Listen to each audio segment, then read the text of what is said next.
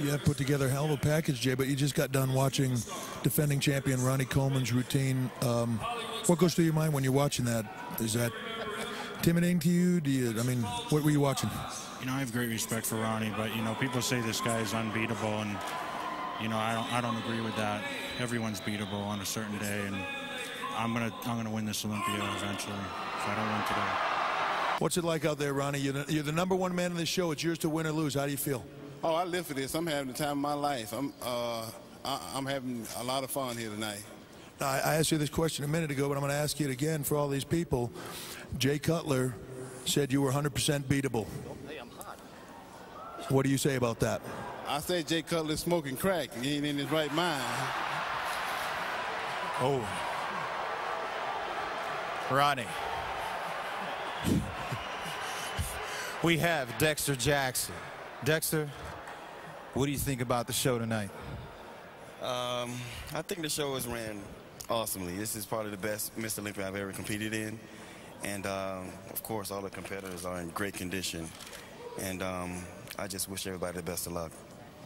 Well, if we're talking about smoking things and, and who's saying what, here's a man that said that, uh, Ronnie, that he could beat you all along, and that's Gunter Schlierkamp.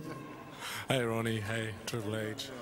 Gunter, you, you were very upset that there was a, a, poster with only two guys on it, Ronnie Coleman and Jay Cutler. What are your feelings on this being a two-man show, or is this guy beatable, or what?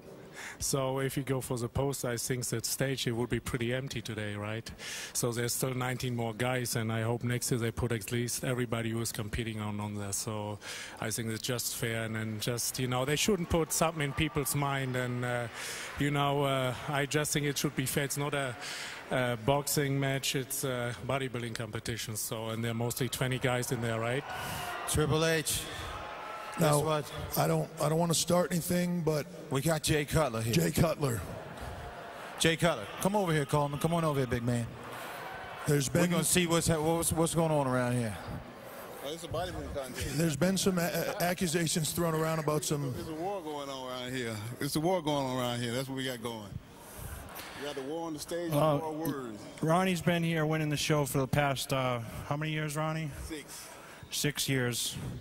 But this is my town, my home, my place. Well, you, your, your home just in, in- been invaded like Iraq. The U.S. invaded Iraq. I'm invading your hometown, buddy. I'm going to have to chase you out, brother. We know what happened. We know I'm going to have to chase you out. We know what happened to Iraq, so get ready to get your ass kicked. I, I, I got to tell you, I think I just found weapon of mass destruction right here. Yeah, I brought my own weapons of mass destruction. I come to do a lot of damage. But hold on, fellas, hold on, hold on. All that said and done, we have a new round tonight, okay?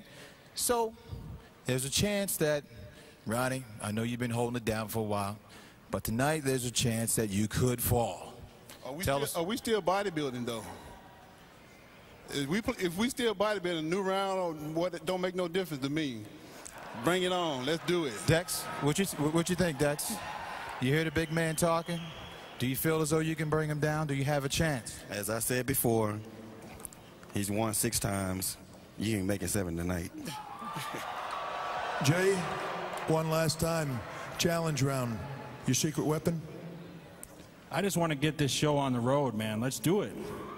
Let's stop talking, Joe. Take it away. Let's go back out to the crowd.